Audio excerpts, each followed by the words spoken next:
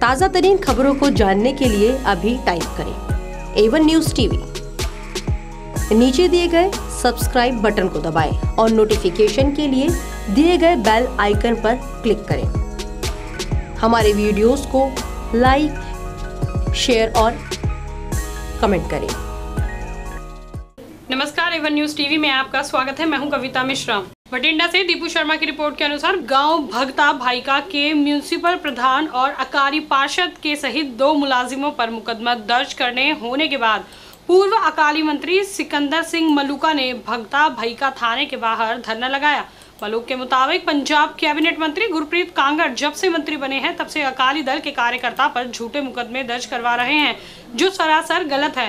मलूका ने पुलिस प्रशासन पर बोलते हुए कहा कि सरकार बदलती रहती है जब हमारी सरकार आएगी तब पुलिस प्रशासन को दर्ज किए जा रहे झूठे मुकदमों का जवाब देना पड़ेगा उधर पुलिस का कहना है कि वन विभाग की शिकायत के आधार पर यह मुकदमा दर्ज किया गया है और आगे मामले की जांच की जा रही है ਇਸੇ ਤਾਂ 3 ਸਾਲ ਹੋ ਗਏ ਸਾਡੇ ਇਸ ਹਲਕੇ ਦੇ ਵਿੱਚ ਇੰਨੇ ਝੂਠੇ ਪਰਚੇ ਹੋਏ ਆ ਚਾਹੇ ਭਾਈ ਰੂਪਾ ਪਿੰਡ ਹੈ ਚਾਹੇ ਮਹਾਰਾਜ ਪਿੰਡ ਹੈ ਚਾਹੇ ਆਪਣਾ ਜਿਵੇਂ ਸੇਲਵਾਦ ਦੱਸ ਕੇ ਸਲਾਦਪੁਰ ਹੈ ਢਪਾਲੀ ਹੈ ਜਲਾਲ ਹੈ ਕਾਂਗੜ ਹੈ, ਭੋਡੀਪੁਰ ਮਲੂਕਾ ਹੈ, ਜਿਹੜੇ ਇੰਨੇ ਝੂਠੇ ਪਰਚੇ 307 ਦੇ ਭਾਈ ਰੂਪੇ ਸੁਸਾਇਟੀ ਦੀ ਚੋਣ ਸੀ। ਉੱਥੇ ਕੋਈ ਝਗੜਾ ਨਹੀਂ ਹੋਇਆ, ਕੋਈ ਰੌਲਾ ਨਹੀਂ ਹੋਇਆ, ਕੁਛ ਨਹੀਂ, ਡੀਐਸਪੀ ਮੌਜੂਦ ਹੈ। 307 ਦਾ ਪਰਚਾ 24 25 ਬੰਦੇ ਬਾਈ ਨੇਮ ਪਾਤੇ, ਨਾਲ ਅਣਪਛਾਤੇ ਸੈਂਕੜੇ ਅੱਛਾ, ਅਸੀਂ ਜਾ ਕੇ ਆਈਜੀ ਨੂੰ ਮਿਲੇ ਐਸਐਸਪੀ ਨੂੰ ਮਿਲੇ, ਡੀਐਸਪੀ ਨੂੰ ਸੱਦਿਆ ਗਿਆ ਮੌਕੇ ਤੇ। ਮੌਕੇ ਤੇ ਡੀਐਸਪੀ ਨੇ ਕਹਿਤਾ ਜੀ, ਮੈਂ ਉੱਥੇ ਹਾਜ਼ਰ ਸੀ, ਉੱਥੇ ਕੋਈ ਗੋਲੀ ਨਹੀਂ ਚੱਲੀ, ਕੋਈ ਝਗੜਾ ਨਹੀਂ ਹੋਇਆ, ਕਿਸੇ ਦੇ ਸੱਟ ਨਹੀਂ ਵੱਜੀ। ਮੇਰੀ ਹਾਜ਼ਰੀ 'ਚ ਬਿਆਨ ਦਿੱਤਾ ਡੀਐਸਪੀ ਨੇ। ਫਿਰ ਵੀ ਹਾਲ ਤਾਈਂ ਉਹ ਪਰਚਾ ਪਰਚਾ ਕੈਂਸਲ ਨਹੀਂ ਹੋਇਆ, ਹਲੇ ਤਾਈਂ ਚੱਲੀ ਜਾਂਦਾ। ਜਿਹੜੀ ਇਦੋਂ ਵੱਡੀ ਹੋਰ ਕੀ ਗੱਲ ਹੋਊਗੀ, ਜਿਹੜਾ ਮੌਕੇ ਦਾ ਡੀਐਸਪੀ, ਜਿਹੜਾ ਡਿਊਟੀ ਤੇ ਸੀਗਾ, ਉਹਨੇ ਉੱਥੇ ਬਿਆਨ ਦਿੱਤਾ ਆਈਜੀ ਤੇ ਐਸਐਸਪੀ ਦੇ ਸਾਹਮਣੇ ਕਿ ਜੀ ਮੇਰੀ ਹਾਜ਼ਰੀ 'ਚ ਉੱਥੇ ਕੁਝ ਨਹੀਂ ਹੋਇਆ, ਝੂਠਾ ਹੈ ਸਾਰੀ ਗੱਲ। ਕੈਂਸਲ ਕਰ ਦਿਆਂਗੇ ਜੀ, ਅੱਜ ਕਰ ਦਿਆਂਗੇ, ਸਵੇਰੇ ਕਰ ਦਿਆਂਗੇ, ਕਾਂਗੜ ਦਾ ਦਬਾਅ ਕਰ ਨਹੀਂ ਦਿੰਦਾ। ਸੋ ਹੁਣ ਜਾਨੀ ਪਰਚਿਆਂ ਦੀ ਹੱਦ ਹੋ ਗਈ, ਹੁਣ ਆਹ ਜਿਹੜਾ ਤਾਜ਼ਾ ਹੈਗਾ ਪਰਚਾ, ਸਾਡੇ ਪਿੰਡ ਵਾਲੀ ਸੜਕ ਦੇ ਉੱਤੇ ਤਿੰਨ ਸੁੱਕੇ ਦਰਖਤ ਖੜੇ ਸੀਗੇ 8-10 ਸਾਲ ਦੇ ਉਹ ਸੁੱਕੇ ਹੋਏ ਸੀਗੇ ਕੱਲੇ ਸਿੱਧੇ ਮੁੱਢ ਜੇ ਖੜੇ ਸੀਗੇ। ਰੇਂਜ ਆਫੀਸਰ ਨੇ ਕਹਿੰਦੇ ਕਿ ਕੁਝ ਦਰਖਤ ਕੱਟੇ ਗਏ ਹਨ। ਕੀ ਮਾਮਲਾ ਜੀ ਉਹ ਕੀ ਪਰ ਮਾਮਲਾ ਇਹ ਹੈ ਵੀ ਜਿਹੜਾ ਬਣ ਰਹੇ ਅਫਸਰ ਹੈ ਉਹਦੇ ਵੱਲੋਂ ਸਾਨੂੰ ਚਿੱਠੀ ਆਈ ਸੀ। ਉਹਦੀ ਚਿੱਠੀ ਦੇ ਦੇ ਉੱਤੇ ਜਿਹੜੀ ਹੈ ਬਣਦੀ ਕਾਰਵਾਈ ਉਹ ਕੀਤੀ ਗਈ ਹੈ। ਮੁਕੱਦਮਾ ਦਰਜ ਕਰਕੇ ਤਫਤੀਸ਼ ਜਾਰੀ। ਕਿੰਨਾ ਕਿੰਨਾ ਤੇ ਮੁਕੱਦਮਾ ਦਰਜ ਹੋਇਆ? ਚਾਰ ਵਿਅਕਤੀ ਨੇ ਬਲੂਕਾ ਪਿੰਡ ਦੇ ਨੇ ਚਾਰੇ। ਅੱਜ ਥਾਣੇ ਕੀ ਅਕਾਲੀ ਪਾਰਟੀ ਵੱਲੋਂ ਧਰਨਾ ਵੀ ਲਾਇਆ ਗਿਆ ਕਿ ਇਹ ਪਰਚਾ ਝੂਠਾ ਹੋਇਆ ਹੈ। ਇਸ ਦੇ ਸੰਬੰਧ ਵਿੱਚ ਕੀ ਕਰਿਆ ਜਾਵੇ?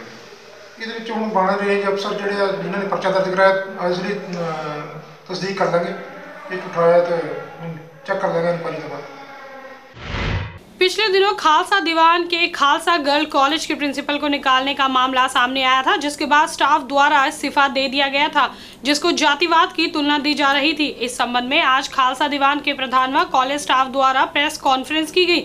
उन्होंने इन आरोपों को सिरे से नकारते हुए कहा कि ऐसी कोई बात नहीं है, इसमें जातिवाद जैसा कोई मामला नहीं है। उनका कहना था कि इस प्रिंसिपल को गैर संवैधानिक तरीके से प्रिंसिपल नियुक्त किया गया था, जिस कारण इन्हें हटाया गया और बाकी कुछ स्टाफ अपनी मर्ज़ी से इस्तीफा दे गया, जिनके द्वारा डीसी भटिंडा को शिकायत दी गई थी कि इनमें से कोई भी गैर सिख नहीं है और पुरानी मैनेजमेंट द्वारा उन्हें जानबूझकर मुद्दा उठाया जा रहा है ਜਤਿੰਦਰ ਕੌਰ ਜੀ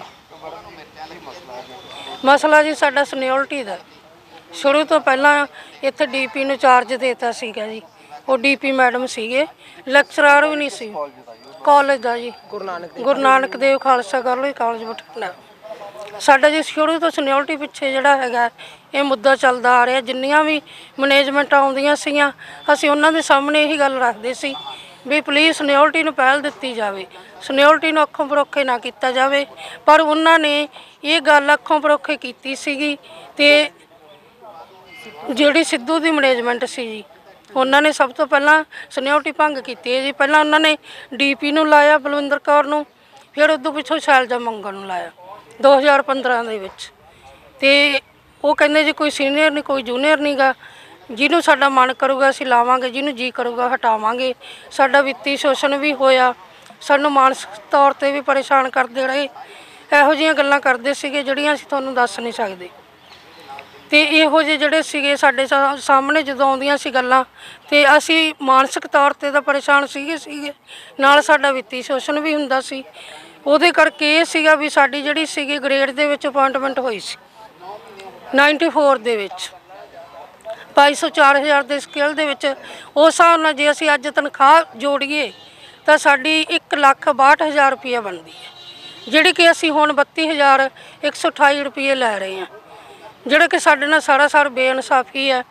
ਧੱਕਾ ਸਾਡੇ ਨਾਲ, ਸ਼ੁਰੂ ਤੋਂ ਧੱਕਾ ਹੁੰਦਾ ਹੀ ਆਇਆ ਹੈ ਤੇ ਅਸੀਂ ਧੱਕੇ ਦੇ ਖਿਲਾਫ ਆਵਾਜ਼ ਵੀ ਉਠਾਉਂਦੇ ਰਹੇ ਹਾਂ ਅਸੀਂ। ਪ੍ਰੈਸ ਕਾਨਫਰੰਸ ਪਹਿਲਾਂ ਵੀ ਕੀਤੀ ਸੀਗੀ 2000 ਦੇ ਵਿੱਚ। ਜਦੋਂ ਸਾਡੇ ਨਾਲ ਸਾਨੂੰ ਇਨਸਾਫ ਨਹੀਂ ਮਿਲਿਆ ਸੀ, ਫਿਰ ਉਦੋਂ ਇਹਨਾਂ ਤੇ ਕੇਸ ਵੀ ਦਰਜ ਹੋਏ ਸੀ, ਜਿਹੜੀ ਪਹਿਲਾਂ ਵਾਲੀ ਮੈਨੇਜਮੈਂਟ ਸੀਗੀ। ਇਹਨਾਂ ਨੂੰ ਸਿੱਧੂ ਸਾਹਿਬ ਹਰਿਆਂ ਨੂੰ ਵੀ ਅਸੀਂ ਬੇਨਤੀ ਕਰਦੇ ਰਹੇ ਹਾਂ ਵੀ ਸਾਡੇ ਨਾਲ ਇੰਨਾ ਧੱਕਾ ਨਾ ਕਰੋ ਤੁਸੀਂ। ਤੇ ਬਸ ਇਹਨਾਂ ਦੇ ਸਾਹਮਣੇ ਇਹੀ ਸੀ, ਕੋਈ ਸੀਨੀਅਰ ਨਹੀਂ, ਕੋਈ ਜੂਨੀਅਰ ਨਹੀਂ ਹੈਗਾ, ਤੇ ਕੰਮ ਕਰੋ ਬਸ। ਵਰਿੰਦਰ ਸਿੰਘ ਬੱਲਾ ਮੇਰਾ ਨਾਮ ਹੈ ਜੀ। ਖਾਲਸਾ ਦੀਵਾਨ ਸ੍ਰੀ ਗੁਰੂ ਸਿੰਘ ਸਭਾ ਦਾ ਮੁੱਖ ਸੇਵਾਦਾਰ ਹੈਗਾ ਜੀ। ਇੱਥੇ ਜਿਹੜੀ ਪ੍ਰੈਸ ਕਾਨਫਰੰਸ ਕੀਤੀ ਹੈਗੀ ਹੈ, ਇਹਨਾਂ ਨੇ ਇੱਕ 28 ਟੀਚਰਾਂ ਨੇ ਜਿਹੜਾ ਹੈਗਾ ਡੀਸੀ ਸਾਹਿਬ ਦੇ ਦਿੱਤੀ ਹੈਗੀ ਐਪਲੀਕੇਸ਼ਨ ਵੀ ਕੋਈ ਹਿੰਦੂ ਸਿੱਖ ਦਾ ਮਸਲਾ ਹੈਗਾ, ਕੋਈ ਮੇਰੇ ਕਾਲਜ 'ਚ, ਕੋਈ ਮੇਰੇ ਗਰਲਜ਼ ਕਾਲਜ 'ਚ ਮਹਾਰਾਜਾ ਅਜੀਤ ਸਿੰਘ ਟੈਕਨੀਕ ਕਾਲਜ 'ਚ, ਖਾਲਸਾ ਸੀਨੀਅਰ ਸੈਕੰਡਰੀ ਸਕੂਲ 'ਚ ਕੋਈ ਹਿੰਦੂ ਸਿੱਖ ਦਾ ਮਸਲਾ ਨਹੀਂ ਹੈਗਾ, ਬੇਬੁਨਿਆਦ ਹੈਗਾ, ਇਹਨਾਂ ਦੀ ਖਾਦ ਮਰ ਗਈ ਹੈ, ਇਹਨਾਂ ਦੇ ਜਿਹੜੇ ਖਾਦ ਖਾਂਦੇ ਸੀਗੇ, ਇਹਨਾਂ ਦੀ ਖਾਦ ਮਰ ਗਈ ਆ 13000 ਰੁਪਏ ਤੇ ਜ਼ਮੀਨ ਦਿੱਤੀ ਹੋਈ ਸੀ ਇਹਨਾਂ ਨੇ ਕੋਟ ਚਮੀਰ ਉਹ 60000 ਰੁਪਏ ਤੇ ਮੈਂ ਦਿੱਤੀ ਹੈ ਇਹਨਾਂ ਦੇ ਪਰਦੇ ਜਿਹੜੇ ਆ ਪਾਜ ਜਿਹੜੇ ਆ ਉਗੜ ਰਹੇ ਆ ਇਸ ਕਰਕੇ ਇਹ ਬੁਖਲਾਟ ਚਾਹੀਆਂ ਹੋਈਆਂ ਪੁਰਾਣੀਆਂ ਜਿਹੜੀ ਕਮੇਟੀਆਂ ਹੈਗੀਆਂ नागरिकता संशोधन विधेयक पर भटिंडा में सिख और मुस्लिम समुदाय द्वारा विरोध मार्च आज हाजी रतन दरगाह से शुरू हुआ और भटिंडा की मिनी सचिवालय तक पहुंचा तहसीलदार लखवीर सिंह के माध्यम से सरकार को एक पत्र भेजा गया है प्रदर्शनकारियों की मांग थी कि नागरिकता सुधार बिल को समाप्त कर दिया जाए जिसके कारण सभी समुदायों में विरोध प्रदर्शन हो रहे हैं कि जो भारतीय जनता पार्टी की सरकार आई है अब, पिछले साल जो है, उस समय से लेके और अभी तक जनता के सुकून को बिल्कुल छीन लिया है। पूरे देश के अंदर पूरी जनता आज बेसकून हो रही है।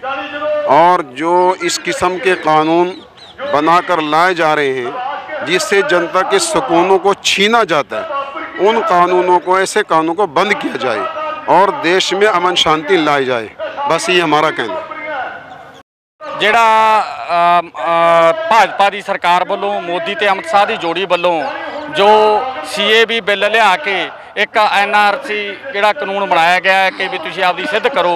ਉਹ ਇਹ- ਉਸ ਦੀ ਜਿਹੜੀ ਹੈ ਅਸੀਂ ਸਮੁੱਚੀਆਂ ਸਿੱਖ ਜਥੇਬੰਦੀਆਂ ਵੱਲੋਂ ਮੈਂ ਸ਼੍ਰੋਮਣੀ ਅਕਾਲੀ ਦਲ ਅੰਮ੍ਰਿਤਸਰ ਵੱਲੋਂ ਇਹਦੀ ਨਿੰਦਿਆ ਕਰਦੇ ਹਾਂ ਤੇ ਅੱਜ ਅਸੀਂ ਸਮੁੱਚੇ ਜਿਹੜਾ ਮੁਸਲਮਾਨ ਭਾਈਚਾਰੇ ਦੇ ਨਾਲ ਅਸੀਂ ਇਸ ਗੱਲ ਦੇ ਵਿੱਚ ਅੱਜ ਸ਼ਰੀਕ ਹੈ ਕਿਉਂਕਿ ਇਹ ਇੱਕ ਬਹੁਤ ਹੀ ਗਲਤ ਜਿਹੜਾ ਬਿੱਲ ਲਿਆਂਦਾ ਗਿਆ ਜਿਹਦੇ ਅਧੀਨ ਜਿਹੜਾ ਆਮ ਲੋਕਾਂ ਨੂੰ ਇਹ ਆਪਦੇ ਆਪ ਨੂੰ ਆਪਣੇ ਦੇਸ਼ ਦੇ ਵਿੱਚ ਇਹ ਦੱਸਣਾ ਪਊ ਕਿ ਮੈਂ ਕੌਣ ਹੈ। ਇੱਕ ਐਦੂ ਖਤਰਨਾਕ ਕਾਨੂੰਨ ਕੀ ਹੋ ਸਕਦਾ ਕਿ ਇੱਕ ਦੇਸ਼ ਦੇ ਨਾਗਰਿਕਾਂ ਨਾਲ ਹੀ ਦੇਸ਼ ਦੀ ਸਰਕਾਰ ਚੁਣੀ ਹੋਈ ਹੀ ਜਿਹੜੀ ਹੈ ਉਹ ਧੱਕਾ ਕਰ ਰਹੀ ਹੈ। ਅੱਜ ਇਹ ਬਿੱਲ ਮੁਸਲਮਾਨਾਂ ਤੇ ਲਿਆਂਦਾ ਗਿਆ ਹੈ ਤੇ ਕੱਲ ਨੂੰ ਇਹ ਸਿੱਖਾਂ ਦੀ ਵਾਰੀ ਹੈ। ਇਹ ਇੱਕ ਬਹੁਤ ਵੱਡਾ ਘਨਾਉਣੀ ਜਿਹੜਾ ਹੈਗਾ ਇਹ ਕਾਰਵਾਈ ਹੈ। ਇਹਨੂੰ ਤੁਰੰਤ ਰੋਕਣਾ ਚਾਹੀਦਾ ਜੇਕਰ ਇਹ ਬਿੱਲ ਬੀਜੇਪੀ ਨੇ ਤੇ ਸੈਂਟਰ ਸਰਕਾਰ ਨੇ ਜਿਹੜੋ ਜਿਹੜੀਆਂ ਵੀ ਉਹਨਾਂ ਦੀਆਂ ਜਿਹੜੀਆਂ ਜਿਵੇਂ ਅਕਾਲੀ ਦਲ, ਸਹਿਯੋਗੀ ਪਾਰਟੀਆਂ, ਉਹਨਾਂ ਨੂੰ ਵੀ ਚਾਹੀਦਾ ਕਿ ਉਹ ਮਗਰਮੱਛ ਦੇ ਹੰਝੂ ਨਾ ਵਹਾਉਣ।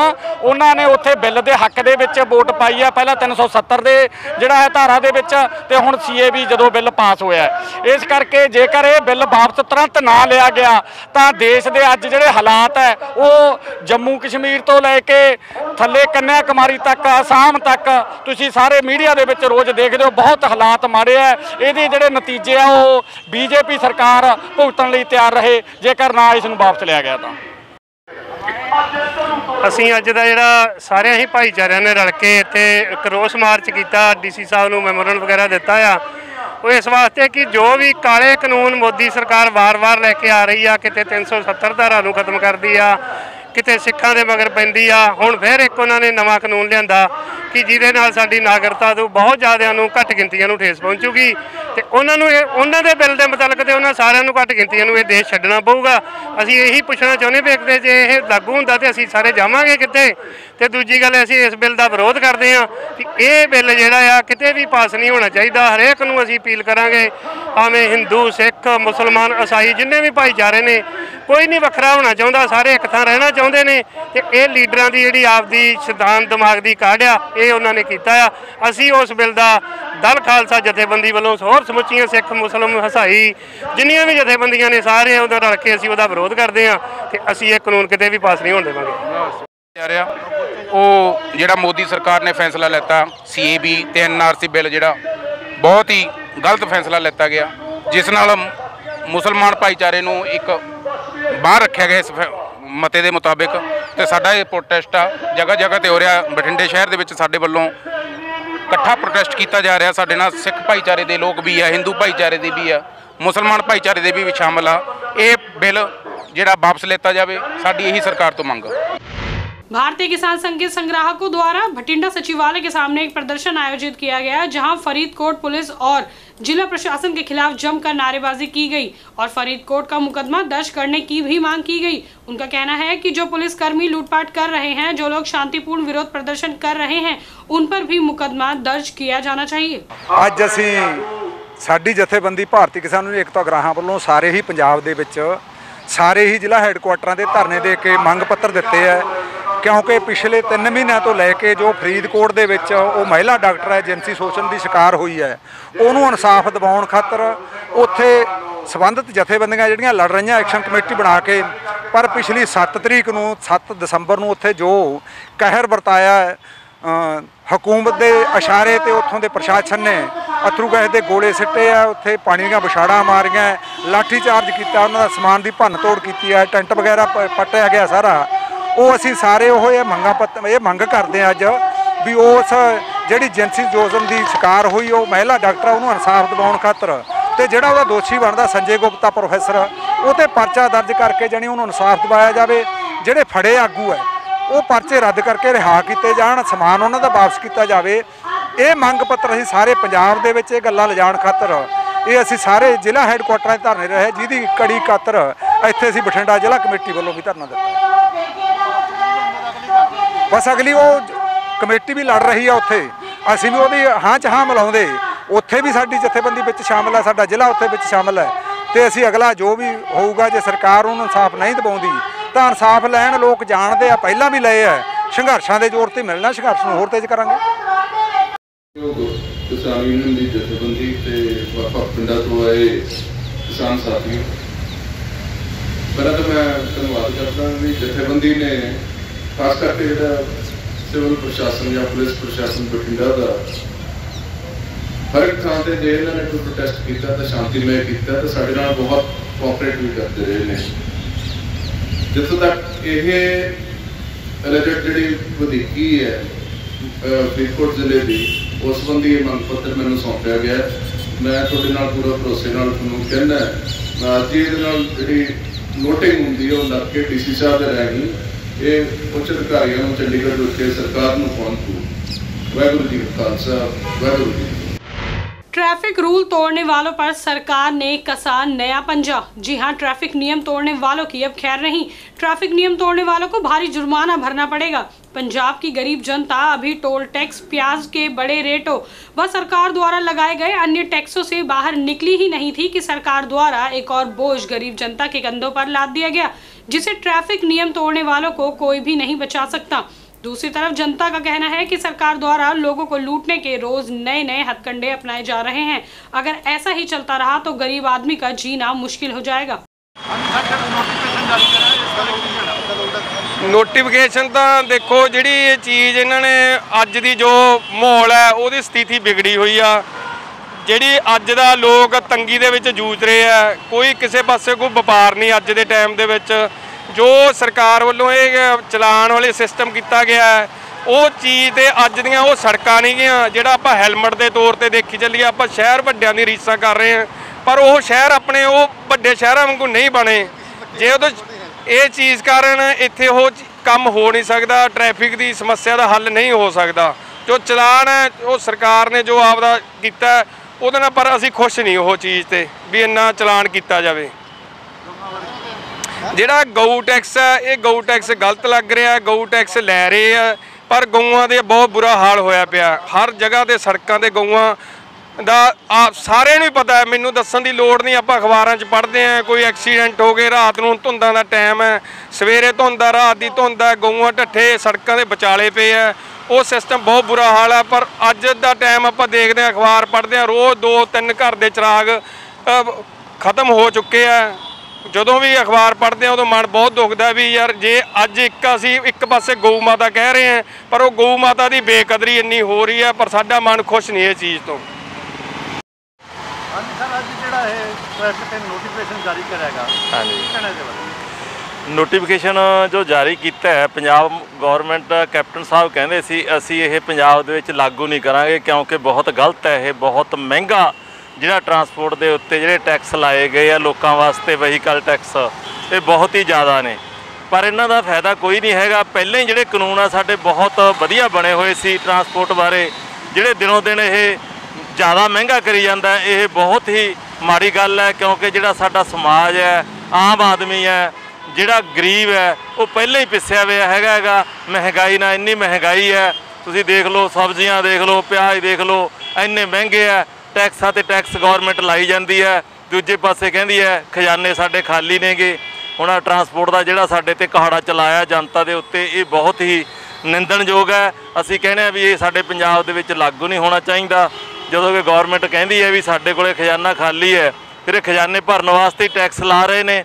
ਇੱਕ ਪਾਸੇ ਜਦੋਂ ਜੀਐਸਟੀ ਲਾਇਆ ਸੀ, ਉਦੋਂ ਸਰਕਾਰ ਕਹਿੰਦੀ ਸੀ, ਕੋਈ ਟੈਕਸ ਨਹੀਂ ਲਾਵਾਂਗੇ, ਇੱਕੋ ਹੀ ਟੈਕਸ ਹੋਊਗਾ। ਹੁਣ ਦਰ- ਦੁਬਾਰੇ ਸਟੇਟਾਂ ਟੈਕਸ ਤੇ ਟੈਕਸ ਧਰੀ ਜਾਂਦੀਆਂ।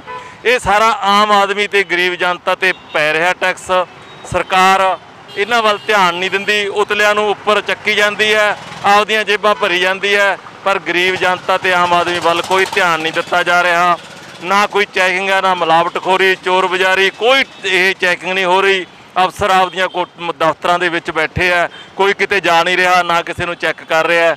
ਮੇਰਾ ਤਾਂ ਇਹੀ ਬੇਨਤੀ ਹੈ ਵੀ ਅਜਿਹੇ ਕਾਨੂੰਨ, ਅਜਿਹੇ ਟੈਕਸ ਨਾ ਲਿਆਂਦੇ ਜਾਣ, ਜਿਹੜੇ ਲੋਕਾਂ ਤੇ ਭਾਰੂ ਬਣਨ, ਸਾਡੇ ਕਾਨੂੰਨ ਪਹਿਲਾਂ ਹੀ ਬਹੁਤ ਵਧੀਆ ਨੇ, ਇਹਨਾਂ ਨੂੰ ਚੰਗੀ ਤਰੀਕੇ ਨਾਲ ਲਾਗੂ ਕੀਤੇ ਜਾਣ।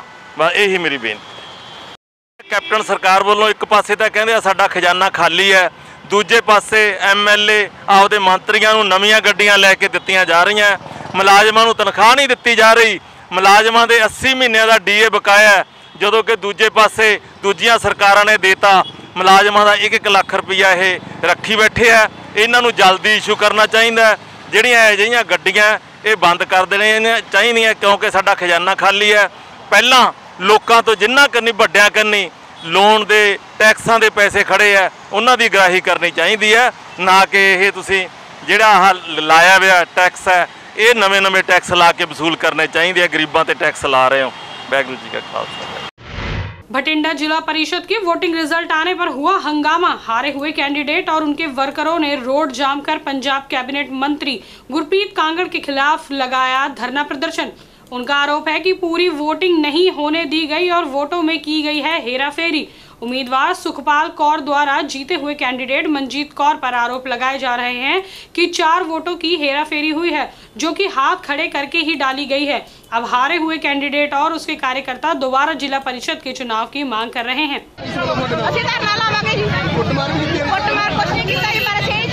वोटिंग हो। गई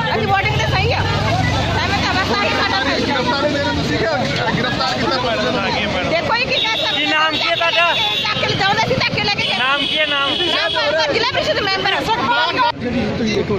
ਜਿਹਨੇ ਬਹੁਤ ਧੰਨਵਾਦ ਪਾਰਟੀ ਦਾ ਜਿਨ੍ਹਾਂ ਨੇ ਸਾਡੇ ਜਨਮਾਣੇ ਦੇ ਵਰਕਰ ਨੂੰ ਚੇਅਰਮੈਨ ਦਾ ਮੌਕਾ ਦਿੱਤਾ। ਕਿੰਨੀ ਵੋਟਾਂ ਜਿੱਤੂ ਜੀ ਤੁਹਾਡੀ?